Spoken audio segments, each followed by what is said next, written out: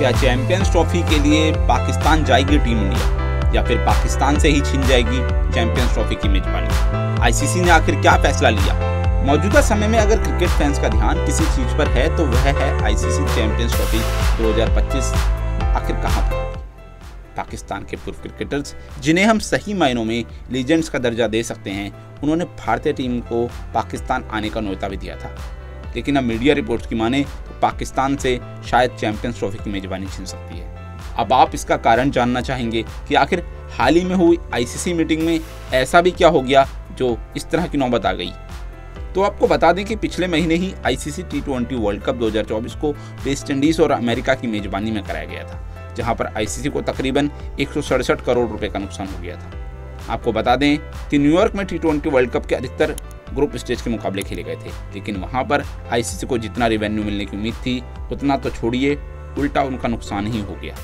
यहाँ तक कि भारत और पाकिस्तान जैसा हाई वोल्टेज मैच भी इस नुकसान की भरपाई नहीं कर पाया और आईसीसी को नुकसान तक से नहीं बचा पाया। अमेरिका में वर्ल्ड कप को कम व्यूअरशिप मिली और फैंस को वहाँ जाने का भी शू रहा। अब ऐसे में एक बार फिर आईसीसी किसी ऐसी जहाँ पर चैंपियंस ट्रॉफी की मेजबानी करने से बचना चाहेगा, जहाँ पर देश जाने से मना कर रहे हैं। इसमें भारत का साफ़ साफ़ मानना है कि किसी भी हालत में भारतीय टीम पाकिस्तान का दौरा नहीं करेगी। अब अगर टीम इंडिया ही पाकिस्तान नहीं जाएगी तो आईसीसी टूर्नामेंट पर बड़ी गाज गिर सकती है, क्योंकि सबसे ज़्यादा पैसा भारतीय दर्शकों से ही मिलता है। ऐसे में अगर एक दो देशों ने और पाकिस्तान जाने से मना कर दिया तो हो सकता है कि पाकिस्तान से पूरी की पूरी चैंपियंस ट्रॉफी के होस्टिंग राइट से छिन जाए। दुनिया भर के फैंस, विराट कोहली, रोहित शर्मा, जसप्रीत बुमराह, शुभमन गिल, हार्दिक पांड्या, मोहम्मद शमी जैसे स्टार्स खिलाड़ियों को खेलते हुए देखने के लिए महँगी महँगी टिकटें खरीद लेते हैं। लेकिन भारत की तरफ़ से एकदम साफ़ कर दिया गया है कि किसी भी सूरत में टीम इंडिया पाकिस्तान नहीं जाएगी। इसी संदर्भ में बात करते हुए पाकिस्तान के तेज गेंदबाज हसन अली ने कहा कि अगर हम भारत खेलने जा सकते हैं तो उन्हें भी पाकिस्तान आना चाहिए। बहुत से लोगों ने कई बार कहा है कि खेल को राजनीति से दूर रखना चाहिए।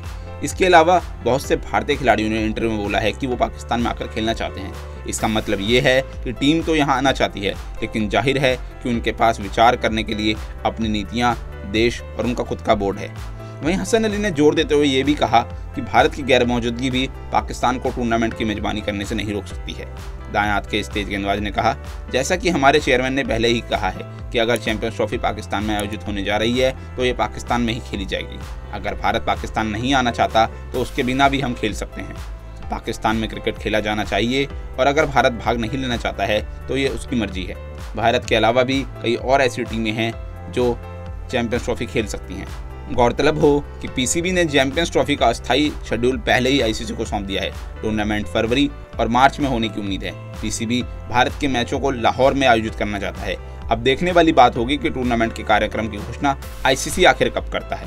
अब आप हमें बताइए कि क्या टीम इंडिया को पाकिस्तान चैंपियंस ट्रॉफी खेलने जाने देना चाहिए या फिर नहीं? अगर आपको यह वीडियो पसंद आया है तो वीडियो को लाइक और शेयर करना ना भूलें।